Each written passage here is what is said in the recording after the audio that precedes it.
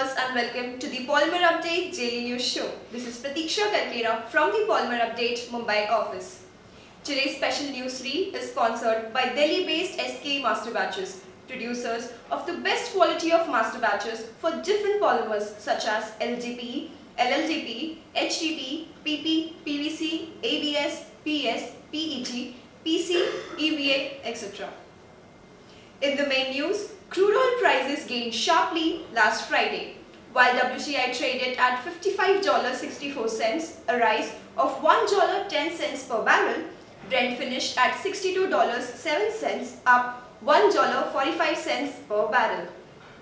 Open spec naphtha prices last Friday were also assessed sharply higher by 10 US dollars per metric ton to settle at 581 US dollars per metric ton CFR Far East Asia levels. Ethylene prices rise in parts of Asia while propylene prices dropped last week. Ethylene prices were assessed at 1255 US dollars per metric ton CFR Northeast Asia levels, a week-on-week -week increase of 20 US dollars per metric ton. The price rise was supported by strong buying interest in the region. Prices were at 1135 US dollars per metric ton CFR Southeast Asia levels unchanged from the previous week. Propylene prices were assessed at 945 US dollars per metric ton CFR China levels, a week-on-week -week plunge of 35 US dollars per metric ton. Prices were at 920 US dollars per metric ton FOB Korea levels, down 20 US dollars per metric ton from the previous week. Reports of ample product availability and weaker downstream PP demand and pricing trends forced sellers of propylene to revise their prices lower across the Asian region. Last week, benzene prices climbed while SM prices edged lower in Asia.